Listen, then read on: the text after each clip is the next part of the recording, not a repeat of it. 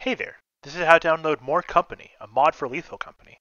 So to start off, you want to go to the description of this video where you'll see two links, a GitHub link and a thunderstore.io link. First, you want to go to the GitHub link. If you scroll to the bottom, you should see a hyperlink for releases page. You want to click that and it will start a download. Go ahead and save that somewhere where you know where it is. And then what you want to do is just run the executable you downloaded. So you want to click on more info and then run anyway, and that's how you run it and it will pop up this window. Please put your lethal company path here. So what you want to do is right click on your lethal company, go to properties, go to installed files, browse, and it should open the folder where your lethal company is held. What you want to do is click right up here and then hit control C to copy the path, then go back to command prompt and then paste it in.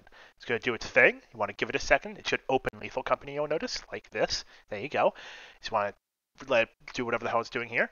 And after a few seconds, bam, it's done, and it will say done, you can close it. Now you're ready for the next step. You want to go back to the description of this video and click on the thunderstore.io link. Go right there, click manual download. It should download this zip folder. You want to open it, you want to double click on the zip file. You could extract if you want, it's up to you. Ignore these things. Click the BepInEx, then click plugins the DLL file for more company right here. Then you want to do is go back to your lethal company installed file. You want to go to the new BepInEx folder that has appeared, double click that, and then go down to plugins, double click that. You'll see it's empty. What you want to do is click and drag more company.dll into this plugins, and it should be good. Thank you so much for watching. Like the video if it helped. Subscribe if you want to see more. I don't know what more you'll see, but you know, whatever. And uh, goodbye.